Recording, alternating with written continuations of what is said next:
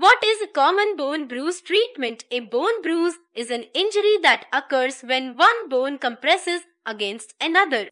The result is a painful bruise on the exterior of the bone that can hamper a person's lifestyle.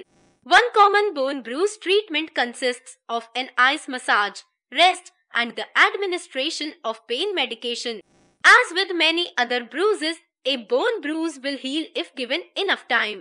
Certain exercises may also be required as part of treating a bone bruise in order to return the patient to his normal activities. Bone bruises can occur when a person experiences trauma. Sometimes, two bones will push against one another, resulting in damage to the outer covering of the bone. That damage can allow fluid to seep into the surrounding area and can result in a bone bruise. Many times, Bone bruises are accompanied by pain, swelling, and discoloration of the skin. The bones that are often involved in this phenomenon are the tibia and the femur. And it is usually the femur that acquires the bruise. One of the first steps to a common bone bruise treatment is to massage the area with ice. It is usually recommended that an ice massage is administered about 5 minutes a day for several times during that day.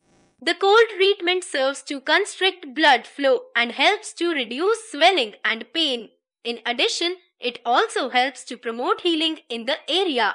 Though an ice massage is recommended to be administered several times a day, it should not be used for more than 5 minutes at a time.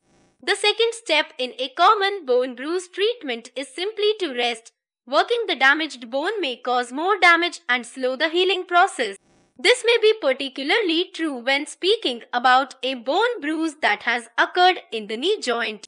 Resting the body can help a person to heal faster and get back to his activities sooner. Pain medication can also be used to help reduce pain.